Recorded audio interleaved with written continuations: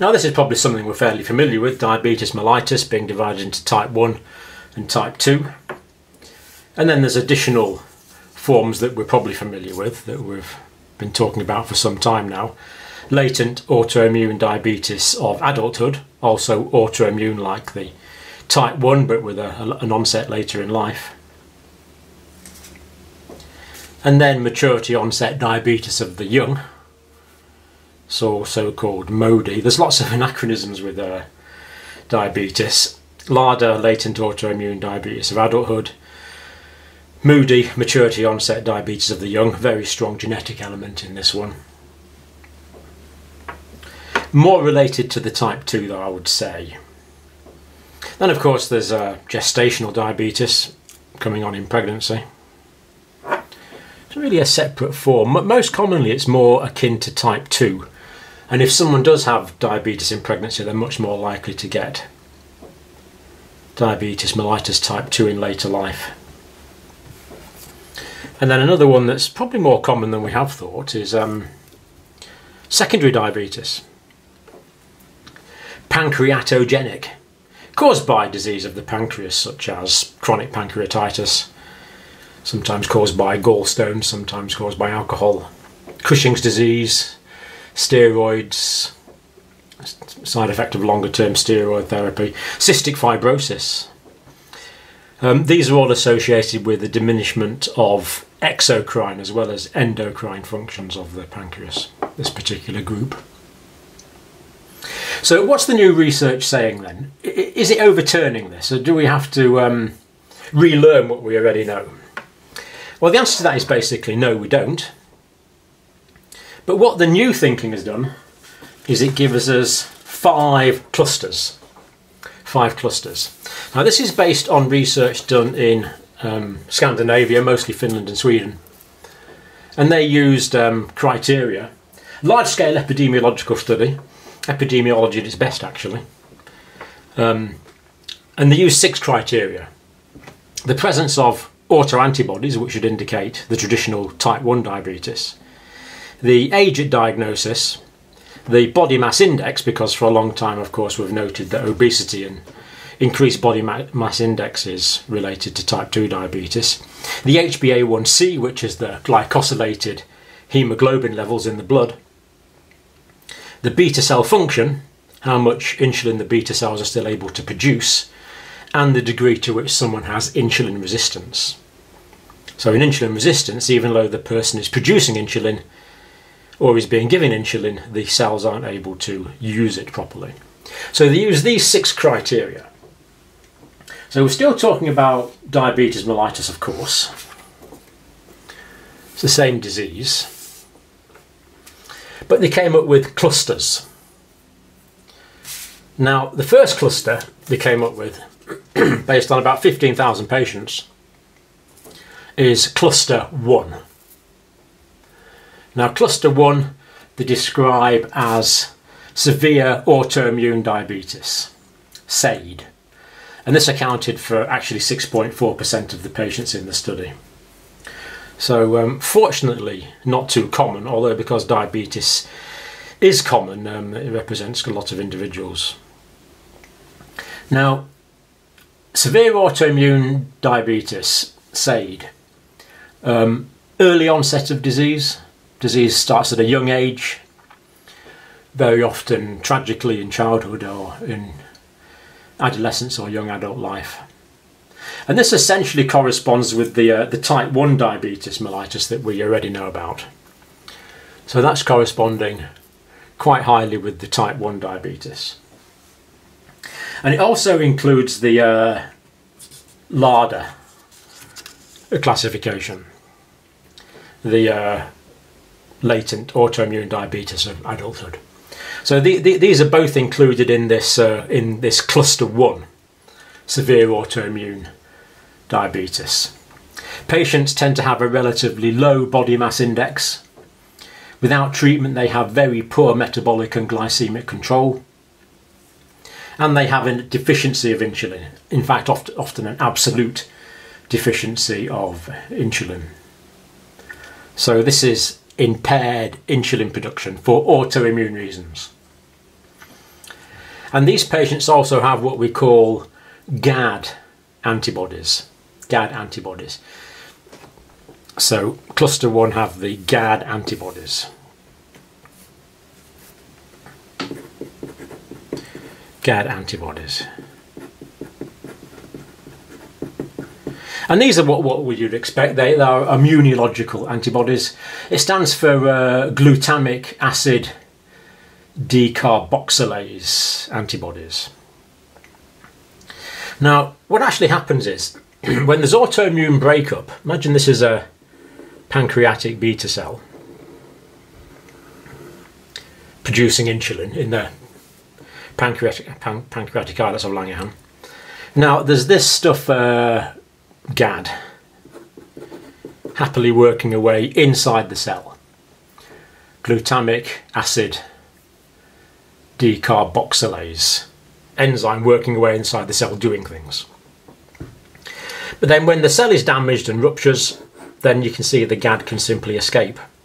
So now we have GAD just floating around in the circulation.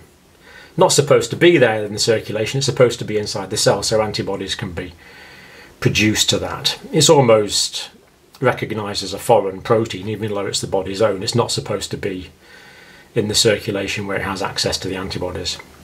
So it's one of the autoantibodies. And, and there are many types of autoantibodies actually have been identified, but this one is useful for uh, testing, for um, for um, me measuring the levels of the antibody in the blood to aid the diagnosis. Now, whether it's the uh, GAD antibodies that cause the cell to rupture or whether it's a side effect of the cell rupturing is less clear. I think it's probably a side effect of the cell rupturing. But anyway, we get these GAD antibodies with cluster 1, which includes the traditional type 1 diabetes, and it includes the uh, the LADA, latent autoimmune diabetes of adulthood. So that's the first cluster in this new classification. So diabetes mellitus, cluster 1 up there severe autoimmune diabetes. Now, now, the second cluster they identified, obviously they called cluster 2, severe insulin deficient diabetes. So again, there is a lack of insulin in this group. Severe insulin deficient diabetes, SIDD. And this accounted for about 17.5% of the patients that they identified newly diagnosed with diabetes mellitus. Now, patients with SIDD are similar in many ways to patients with SAID, in that they're not producing insulin. But they are GAD negative. They don't have the antibodies, they don't have the autoantibodies, these circulating antibodies that indicate the autoimmune nature of the type 1 disease. They have a high HbA1c because they have a low amount of insulin. And unfortunately, this group was found to have the highest incidence of retinopathy as well. And, and this this makes sense really with observations. For, for years, I've been coming across patients who are not particularly overweight, but develop what we assumed was, was type 2 diabetes. So really we need this more refined classification to identify disease mechanisms, to individualise treatments and already starting to predict complications. And there are genetic bases, the genetic evidence is now available to differentiate some of these conditions, some of these cluster groups, indicating that they are indeed separate diseases and not simply stages of a disease. Next cluster identified was uh, cluster 3. And again, this is described as severe disease. And this is what we think of as the very traditional type 2 diabetes. So they had severe insulin resistant diabetes. So to begin with, these patients can actually produce plenty of insulin. But then they can't use the insulin that they are producing because of insulin resistance. Because, of course, as you know if you watch the other videos in this series, we need the interaction between the insulin itself and the insulin receptor on the surface of the cells to facilitate the gating of glucose into the cell. So that was the third type, thinking of this as the traditional stereotype almost of type 2. Um, increased body mass index, insulin resistance, and uh, this group had the highest incidence of diabetic nephropathy.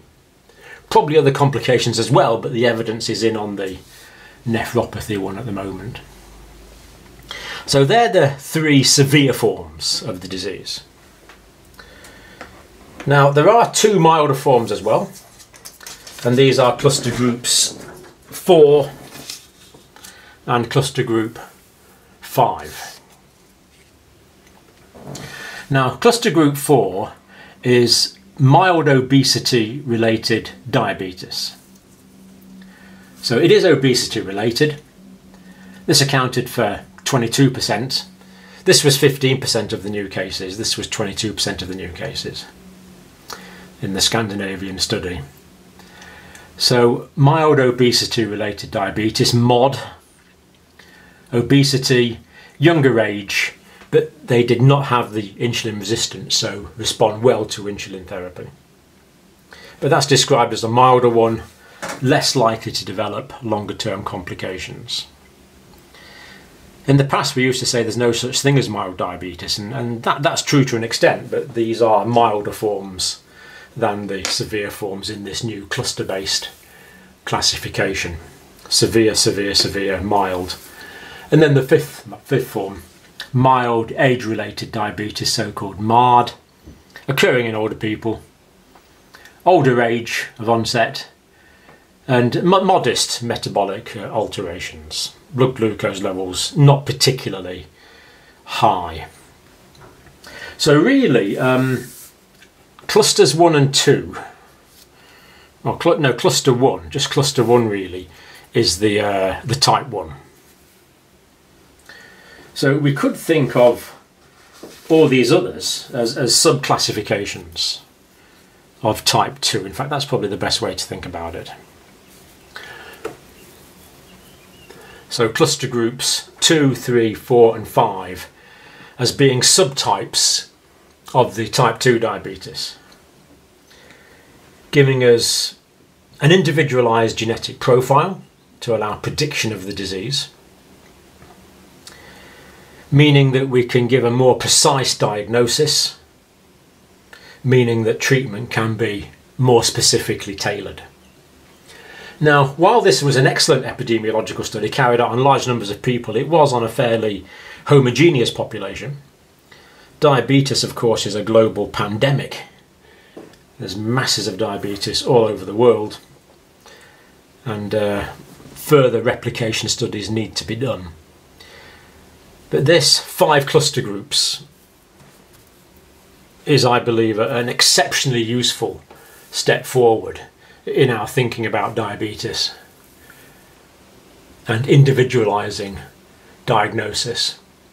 And it also makes sense of observations we've had in the past that didn't quite fit into the stereotypical type 1, type 2 classifications, but do fit in more accurately into these new cluster based classifications.